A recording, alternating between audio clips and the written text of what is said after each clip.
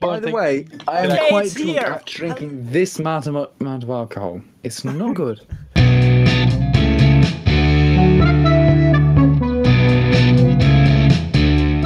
Hello, pints. everyone, and welcome to an episode that's actually recording for once. And We had some not tech problems. Fucking crashing. Yay! If anyone would like to open up the repository on GitHub for uh, handmade OBS or just simple screen recorder, I'll help.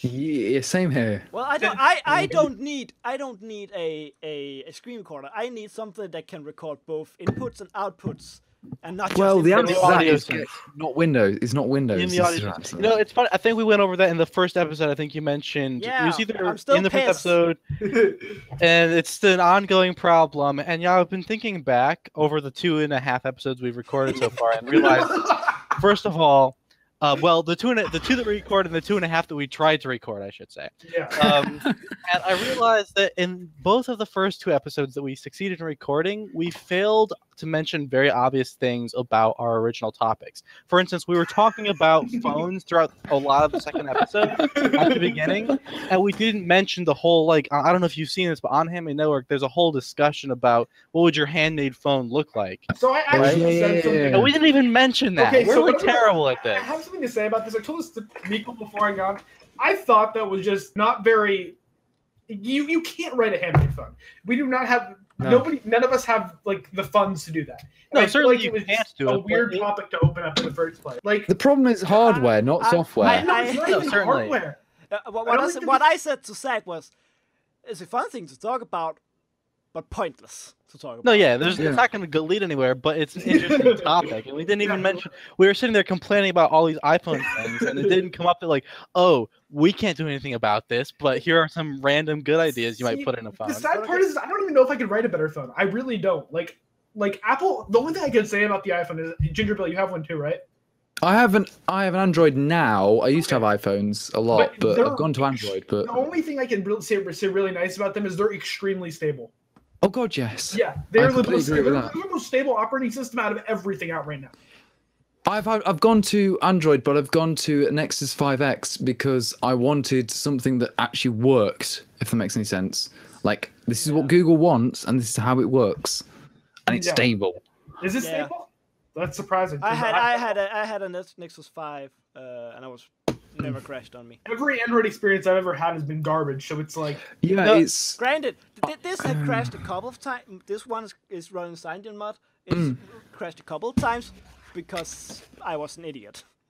I don't know. I think Never, I never I had it See, crash. I don't think my hand. If I were to characterize my handmade phone, I don't think it would crash less than an Apple phone. But I wouldn't really worry about that. The thing my handmade phone would do, and I said this on the forum, is my handmade phone would be a drive that you could copy files into and out of with a USB device, right? Like yes. that's that's the number one thing. My my phone Why would would be a wanna plug in computer.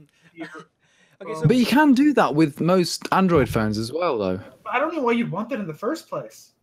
Like you Because- could probably just use this phone as a um, like, hey, this is my USB drive that I just plug in. yeah, And then like, I've got all my work data are on you it. doing on your phone that you need to copy to They're not doing work on your phone, but what you are doing is potentially like reading, I don't know, things you've downloaded on your PC, listening to MP3s and things like this. I just want the, an open data model. That's what I want on my phone. You want In fact- something that kind of like schedules the stuff that you've done in a way. Here, that, let me put it this way: I don't want I don't want a third-party app. An operating system should be able to communicate to another operating system and transfer files. I Mhm. don't want a third-party app to put anything on my or a third-party application to put things on my MP3 player if that's what my phone is going to well, double you, as, You, you, that you and all on the other things I might do with it. That, that you can do on Android fine if you install the driver. Which you, You can do it on um, iOS as well. It's just you have to do a little extra work. You know, you the, click that big sync button. hey, Apple's sync method is awful. I don't know what they do wrong, but it's so bad. Yeah, It works, so but it doesn't bad. work. I know what you mean. It's it's just too slow. It's Okay, so slow. So it's like on a handmade network, like okay, we need a handmade OBS, we need a handmade multi-track Handmade recorder. OBS We don't need I handmade know why no OBS. We can actually contribute to OBS itself. I think that is open source, right? I don't Yeah, know. I, I, it- it is, Ninja no, I thank skimmed you. through it and it's a mess. Well, the I- thing I- is, I- you I could it.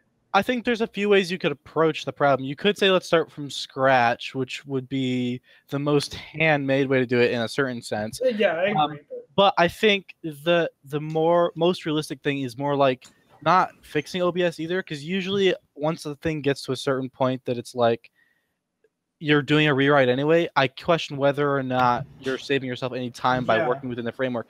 I would say Mm. more like gut all of these sort of primitive parts and then improve those primitive parts and then build on top of that. Like there's there's existing things that I wouldn't want.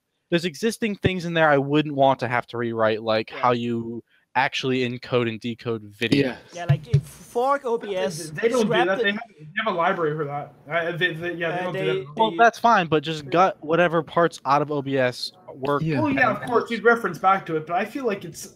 I, I don't feel like it's as big of a project as everybody's making it out to be. You know. I feel like I don't I feel don't like know. that big The- of a. For one thing, the I- I- motion box proves that one person can write something that plays a video. So I'm not sure how far away mm-hmm. from streaming it. I don't you know, are I feel like Yeah, it Motion Box is big person. amazing in the fact that the be- the thing I really love about it is that it starts off where I actually finished.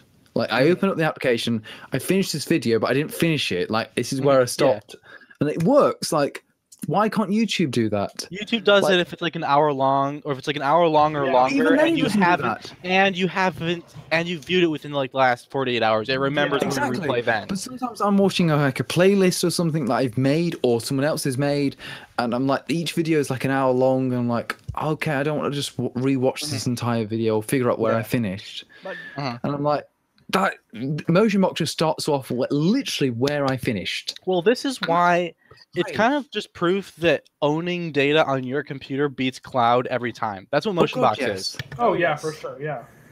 Uh, but yeah, Like- like, handmade OBS, ha- uh, like uh, handmade multi-track recorder thingy, and uh, AF Devlog would be nice, Abner.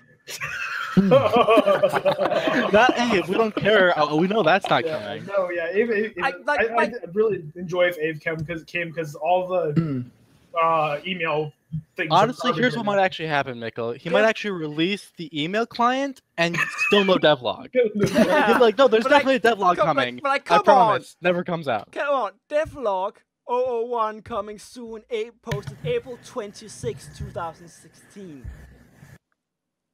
What month is it again? Is it September? It's September, yeah. September. Uh, yeah. Like, Abner, I know he's busy now as a person, now he's uh, school and stuff, but come on! If he isn't on, if he isn't doing school tomorrow, we need to drag him on him at After Dark and do it live and just torture him about about Yes. his. Completely torture him. Like, Just destroy You're not, you're him. not allowed to leave, Abner, before you tell us what the fuck is going on. Oh, a, a, a, a handmade Skype-like thing? That's already being worked on. that seemed interesting. What was the chap that was actually doing that? Yeah, I- I um, saw that. However, what I would want is a uh, for something like this is I would want to it to of course connect to multiple clients, but I want to spit out each individual feed uh, Mm. into a separate video file, maybe res- uh, even separate audio files.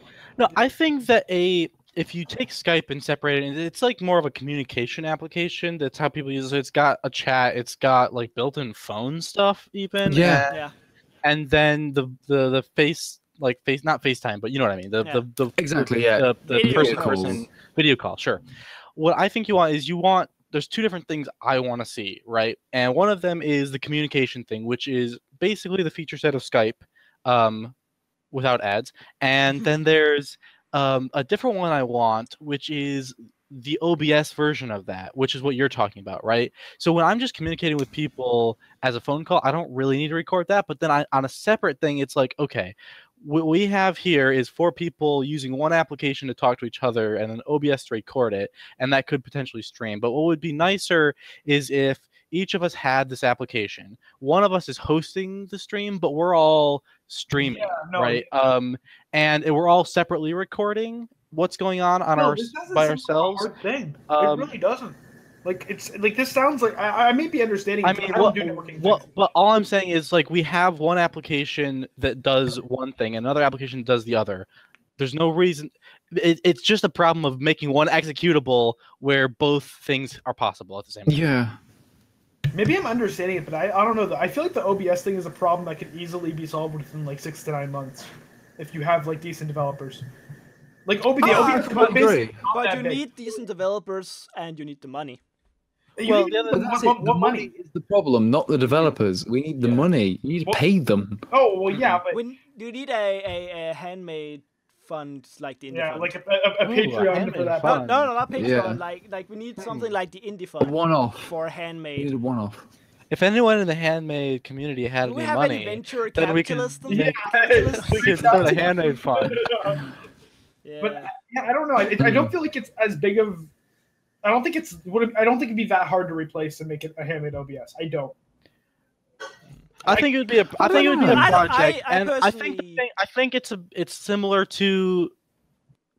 It's similar to like t- trying to ship an OpenGL game where it's like, you know, it should not in theory that hard, but you're gonna have to. Oh, we need to be able to stream from the desktop and WDM on Windows and what's going on here, and then blah blah blah. There's just so much crap that other people are gonna throw at you that I feel like Yeah, I'm talking about just the Windows version, not like Linux or Mac, because Okay, but even if you just now. limit it, limit it to Windows, I'm not sure that the operating system is at all going to cooperate with you. I think you're dealing with some nasty problems there that are kind of just really brute force. It takes a lot of uh, uh, time and expertise. I think. Am I? i- i- Yeah. As in my But understanding. uh, I mean, in theory, it's just like let's let's collect 30 frames a second through uh, Direct 3D, encode them however they want them, and upload them. Like in theory, that's what it is. yeah, I Hmm. think the biggest pro- biggest um, problem of uh, of something like o- a handmade OBS is the matter of compressing and encoding the data and sending it out.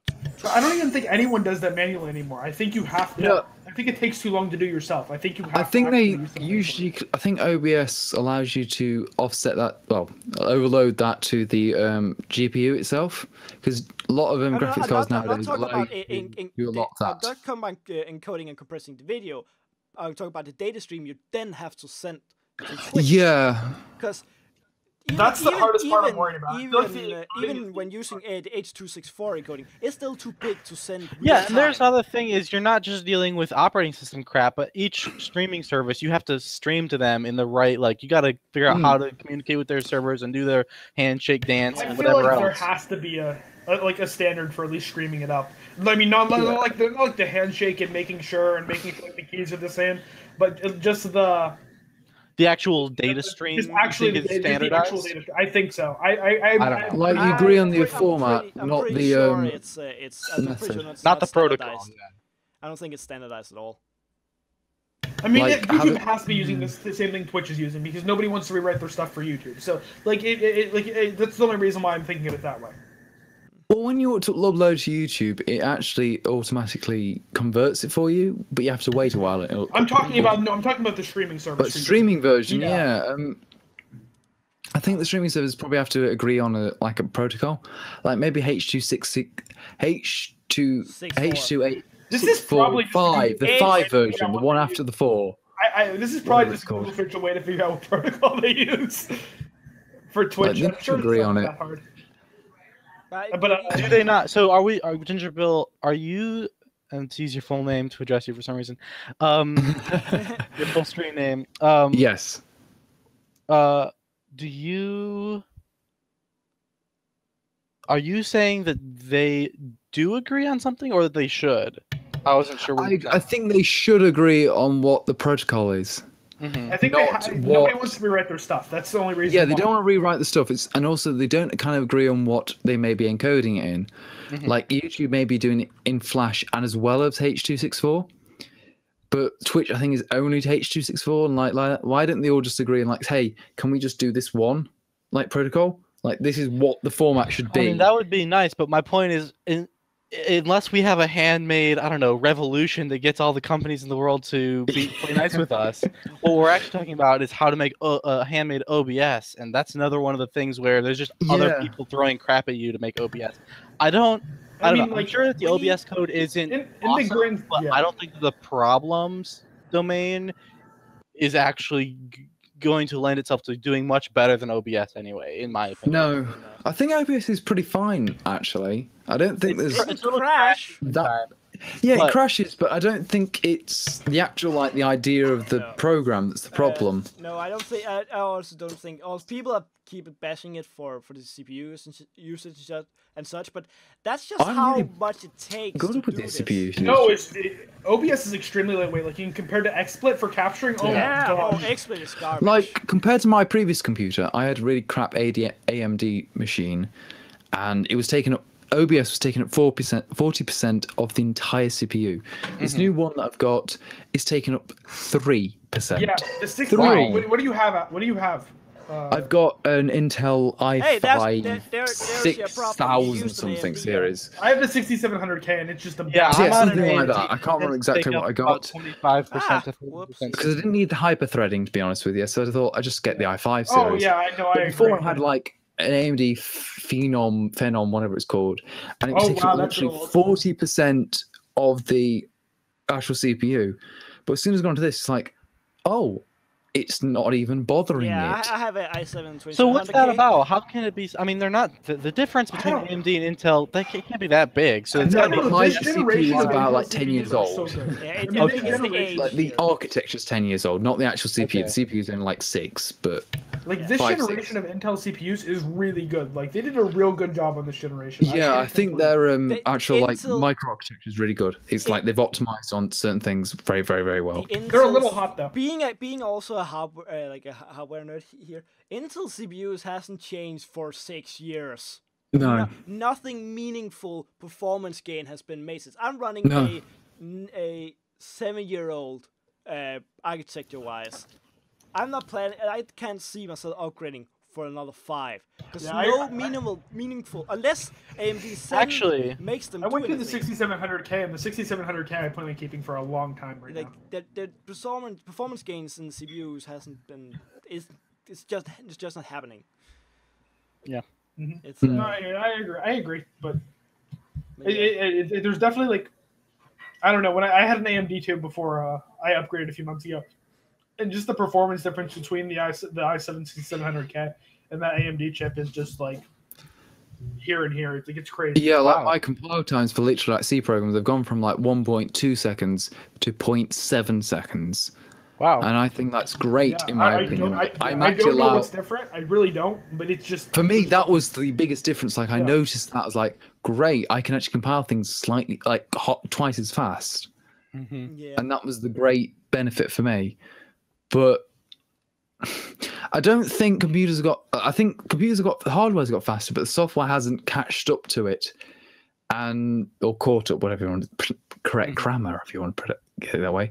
Um, and I just think like the the hardware is getting great and accelerating really really fast over these years, but none of the software's caught up, and it's it's kind of showing it. Like Mhm. you can say your seven year old, 10 year old hardware is still as fast as modern day hardware because the actual software hasn't changed to meet the requirements of the modern day hardware. And that's kind of sad. yeah. You know, I agree. We we have like crazy power boxes, and we're not like able to use all of our new all No. uh, everything. I, I've, like like the 1080 is a crazy card, and I don't think nobody's even. But I think half the problem as well is also like the libraries and also the actual languages that we actually give to these the actual devices. Like, I don't think there's many languages out there that um, express the hardware that we actually have. Mhm. Like C is designed for seven, like hardware in the seventies. It was meant to be deployed like the PDD. and no one else is, EP10 no one's designing languages with the idea of let's design it on top of the hardware they're, de- they're No. designing languages like oh let's make a higher level because we need to go Yeah. higher Yeah, of like, c yeah, they're not like- And thinking that's let's my problem. Like, no, you Everyone's d- trying should design for hardware. Every, Mhm. Everyone Like- is abstracting away the computer we are actually using. Like that's Like, that's that- literal yeah. language features. But is- also- Interestingly, you might think that the high level languages would work if they were based on lower level languages that were Exactly. using the hardware. Yeah. It goes down to our But base. Like a lot of that. Like Rust, Nim, Go, whatever you want to say, what the new highlight of the week is. None of them actually like, hey, this is what our actual hardware is like nowadays. Mm-hmm. We optimize for that. but like we None of can't. I don't like think that. we can. Can we? Like our kernels are still from the '90s. Like we can't do it. Yeah, I'm not talking about the software though, the, but like this hardware. Like we have SIMD, we have multiple threads, we have atomics, we have Oh, people who are doing so many things like that, but no like- languages kind of like design them around the actual hardware. Oh yeah, for sure. Um, I think that's half the problem. It's like most languages are trying to be improve upon the previous, Well, but they're think not of- realizing why the previous was so good. Like I it was great for the hardware. These are these are designed to be like. First of all, none of them are like. There's nothing, no good like sources, but pretty much anywhere to Hmm. read about threading or SIMD, and they don't make them easy to learn. Like I feel like that's No. part is they make them like a real bitch. Like threading is like. Still a big problem. I feel like like Allen, you I think you've done a lot of threading, right? And it's still Yeah. probably a bitch for you, right? Oh yeah, it's a problem all the time. Yeah, Hmm. and SIMD, no one wants to write. Like everyone banes writing SIMD, and it's just. I feel like No, I think I mean I've I I think this was off stream when I gave these ideas to Bill last time that I gave them to mm-hmm. him. But to repeat it again, I've been I don't know why, but I've been interested in language constructs for threading for a long time because it's just mm. a thing that I recognize as like it's this huge hassle just to launch a thread. Like you have to it's not built into any language except like Go, I guess. And Yeah, it's a very specific kind of threading. If you aren't doing exactly what the way they want you to thread, it's not as built in anymore. I'm, I, if I understand correctly. Um, but I mean, there's things like there's different kinds of threading operations all over the place, and in theory, you can look at things and be like, these 10 tasks are all completely unrelated. In theory, I could make a tasklet for each one, and uh, the problem is I don't want to go through like the the just the, the the dredge work of wrapping each one in a procedure and then launching a thread and waiting on all of them and writing my own thread pool that works exactly the way this ta- set of tasklets need.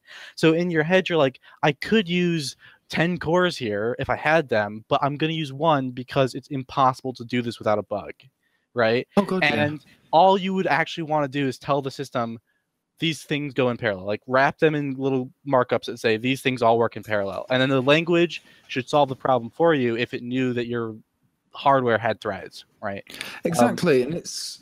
I don't think any language nowadays kind of maps to what the hardware you actually have mm-hmm. underlying. They're trying to exp- like, abstract it so much that you don't have to think mm-hmm. about what you're programming about, and it's like, but no, I actually know that my computer has like four cores and Mhm. four hyperthreads or whatever, and eight whatever. Like, I'm like, no, I want to actually optimize for that, and I know most people have them. Or I know, I know my hardware has like eight gigs of RAM. I like don't care about the abstractions. What do I actually have? Mhm. And Go is one of those weird things where they're using this communication sequencing processing model, the- or the CSP model for concurrency. And it seems okay in some circumstances, but the way it does it is it kind of uses like a software version of fibers everywhere. Mhm. Like in Win32, you have fibers and they're Yeah. like a lightweight thread. or coroutines. or a- co-routines. They are literally go routines, is what they call them. Are co-routine co-routines, and they're very very useful in certain circumstances. But in many circumstances, you don't actually want them. You don't because they are actually very very slow. They have a lot of baggage they've got to call, Yeah. and they've got an environment they've got to bring with them. Mhm. And yes, they're easier to because you don't have to think about the model, but but it, once you kind of abstract that away, you kind of lose what the actual hardware is underneath. Mhm. And I think that's just like what you kind of lose. You lose the actual real worldness. Yeah, yeah. Well, I think it's interesting. Um, this kind of gets into like, uh, in my mind, it gets into like the question of like API design, except language design is like yes. language design is a superset of API design, I think, and Kinda, Um, kinda. Kind of, yes. and um, it's it's um, it, it reminds me though in API design that when when you sit down to design an API, Mhm. um, like Casey's uh, advice is always write the usage code first. I think Mike Acton, the way he put it, is the way I actually prefer to think about it, which is, and I can't remember where Mike said this, but he said something like a lot of people make the mistake of representing the API in terms of their solution to the problem rather than in the terms of the problem, right? I completely Yeah. agree with that. And I think Completely the same thing applies to languages, which is that everyone's like, all right, when this whole thing is done, when I'm done, what I'm going to have with this language is we're going to be able to have different things that are going on and they can mm-hmm. send messages to one another to, to synchronize and they're separate. And like, this is the solution space. So we're going to describe the whole thing in that. And it's like, actually, no, the problem space is we've got eight cores and they can execute in parallel. And then we want we want them to be able to context switch on occasion. There's the problem space. You need your API or your language to describe the problem space because eventually the solution you came up with is not going to be the solution to the problem you're dealing with anymore. But the Mm. problem space will still be the same problem space. Right? So you feel- want your your APIs your Like you've got a problem and you're trying to solve it with certain tools, but you haven't got the tools to Mhm. solve the problem solution you want. right. Like the And like that the is kind of the in many domains, not just programming, like physics or chemistry or any sciences. You've got certain methods that you can solve a problem, but you know what the solution may be, but you can't solve it with the, the, the methods you have. So you have Mm, to find a different method, and that's again the same with programming in general. And it's it's annoying. sure. Well, I feel like like even our like like the, like the Windows threading API is bad. Like eh, I Mhm. just I feel like the whole I design think it's around threading, I just think like it's just by like clunky. like I don't Yeah. want to have to call create thread. I just want to like say oh this function is a thread and it does this. Like I just like that, that that's what I want to do. I don't want to I call think- create thread, stop thread, resume thread, any of that bullshit. I But you need language support for that kind of stuff. You Yeah, exactly. I think- at I O- you can't do that at OS level. You have to No. your language designed around that. Yeah, the fact that Oh, it- the, agree. the reason that it's clunky is because it's in C, not because of Windows. Is my take on it. No. I don't, there's no good API Yeah, in C for threads. Yeah, that, that, The language has to design around concurrency. Like C was never de- designed around like that. Like it was No, no. designed for the PDP-11 machine. Yeah, have- you didn't have any had only Con- concurrency one wasn't a machine. You Like, yeah, you didn't have these threadings or parallelism bullshit or anything in C. they existed, Yeah, but no. they were not common. They were Right, not for like sure. no one was. Now everyone has them. and It's They- stuff we it- should be using. It's it- not easy for us The to use use. case for concurrency back then was the few supercomputers that were there were. Yeah, And they were all written. They were all written in Pascal, on Fortran. So or Fortran. I know loads of people are still programming Yeah, like, Fortran for but God's Pa- sake. That's Pascal and Like, a Fortran. lot of physicists those still ra- ran program on. Fortran. So C never really needed to solve the concurrency problem. No, because it was a different problem domain. Yeah. Like the reason people use C was for different certain problems, and that's what most languages are still for. Like physics still uses Fortran because it solves a lot of the aliasing problems they have. But C still actually solves that problem nowadays, but they just haven't gone over it because it's not that big of a jump. hmm Like, yeah, it's No, just I, I so- agree. It's like we have to Now, just work with modern stuff thing- and our new tools. Here's the thing I'm not totally sure on. There is one difference between, say, abstracting um, SIMD versus abstracting a thread, which is that Yes. no matter what you do when you abstract a thread in your, if it's in the language or at an API level, um, which hopefully, like we've discussed, hopefully we all think I think it's in the language, but if it's in the language, that raises the question that you have to call into the kernel to make threads. You can't yes. do it any Yeah, other way. oh yeah, is for different than SIMD, where you don't call to a kernel to do SIMD. You that is just a on the hardware thing where you Yes. just put the next instruction in line is the SIMD instruction.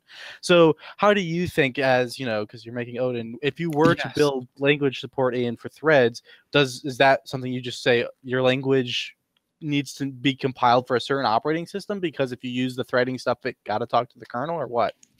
I think it's probably like a runtime layer. Like you Okay. have like an interface that you say, "Hey, this is kind of how I want to work," but the runtime handles all the dirty work, like how it actually actually calls the threads and Oh, creation. yeah, the like, Do you, do you have of threading in your language yet, Ginger Bill? Do Not threading? yet, but you can use the C functions. Like I have Oh, threads if you call C. Like I Mhm. have the foreign function interface and stuff already Uh, like, done. yeah, if you want But it's not built into the language. Like the only thing I have got built into language is thread local storage. because I needed that for the context stuff, like the, the implicit context, like for allocates and logging Mhm. and Yeah. um, thread data.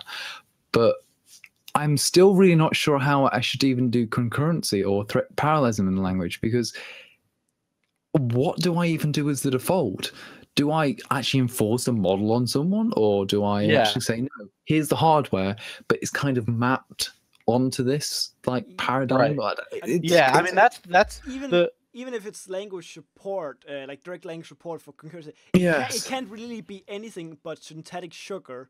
No, for- exactly. For uh, for compile no, for uh, like API calls because that's how the OS does it. Exactly, So- like this actual like like this instruction actually like in my language actually maps to a procedure or two Yeah, procedures. It, it, can, it can only be expanded to Yeah, I, Well- I kind of want like that C analogy where this actually maps to the actual like what instructions I have. Like an add literally acts to like the add instruction, or a move is a move, or whatever. And it just is.